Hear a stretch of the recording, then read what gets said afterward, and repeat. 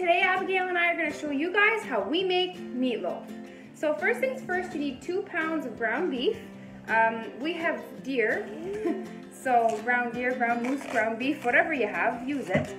So what we're gonna do is we're gonna throw this into a bowl. Just like that. Whoa, whoa, the bowl's going out of control. Now, jingle bells. Okay, so in this ground beef, we're gonna put all of our seasoning.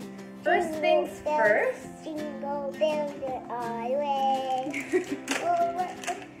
You're gonna need some parsley flakes. This is just dried parsley. You're gonna need one teaspoon. What's this? You're gonna need one teaspoon of Italian seasoning. What's this? Italian seasoning. What's that? It's, it's what's gonna make our meatloaf taste so good. Now we're gonna need some paprika. We'll need half a teaspoon of paprika. yucky. It, it's actually very good. Just like that. We're gonna need some Worcestershire sauce. However you pronounce that. You're gonna need about a tablespoon. Ew, That's stinky ropes. That's stinky. So, tablespoon of Worcestershire. Anyways, this stuff, Worcestershire sauce. Anyways, that stuff. Then we're gonna have to put in some salt and some pepper.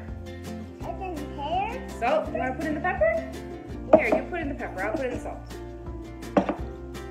Great job. Over here, I have um, one small diced onion, and I have some uh, minced garlic. I'm gonna throw that in. You don't have enough? Put some more in.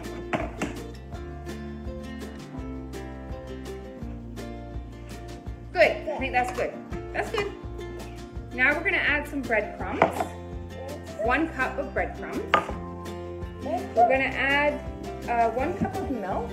Here, you put the milk in. Hold on the cup. Ready?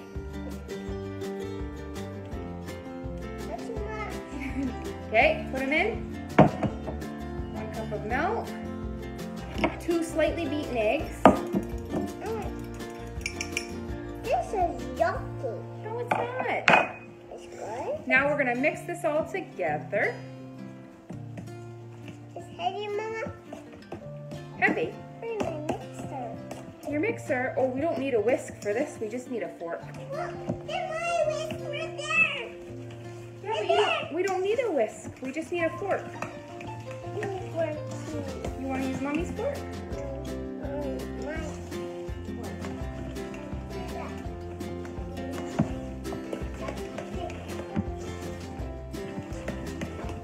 Now what we're gonna do is we're gonna, I, I've taken a pan and I've lined it with tin foil and I put some, um, some cooking spray on it. We're just gonna put We're gonna put our loaf, we're gonna put our our meat uh, into our pan. We're gonna kind of shape it like a loaf.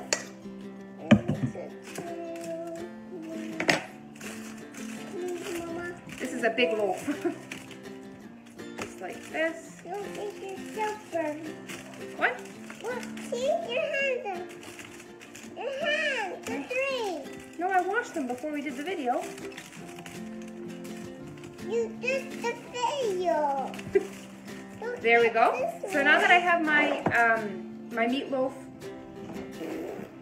Okay, so now that our meatloaf is in a full shape, um, I'm going to show you the little sauce that we put on top. Now we need your whisk. The whisk, Here's your whisk. the whisk, Yes. and the fork. No, you just need a whisk. Okay, so what we need is we need a third of a cup of ketchup. That's ketchup. We need a third of a cup of barbecue sauce, whatever's your favorite. Mm. Like We need sauce. two tablespoons of brown sugar and two tablespoons of vinegar, and then we're gonna mix that together.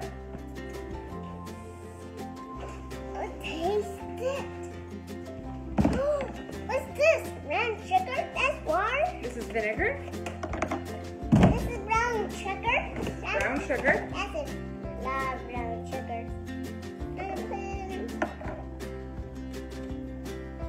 Okay, so Abigail's gonna mix that up for us.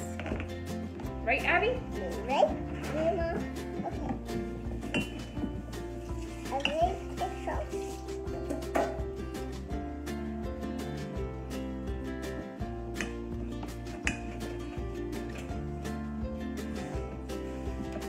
Mixer, mixer.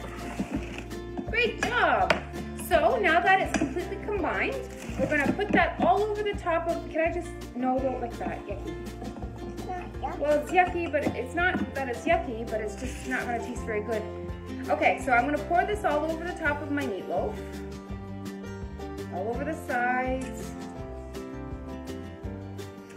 There we go. It's really important that you put tin foil on your pan and really spray it well because you don't want this to stick to your pan. Okay, my meatloaf is ready to go in the oven at 400 degrees for 45 minutes. And I'll show you what it looks like when it's done. So I just took my meatloaf out of the oven. It was in there for 45 minutes and it's cooked perfectly. So this is what it looks like. And I've cut a little piece off for you guys to see. And it's so juicy and it's moist, it's delicious. So, if you have time, make this recipe. I promise you, you won't regret it. Have a great day, guys, and enjoy!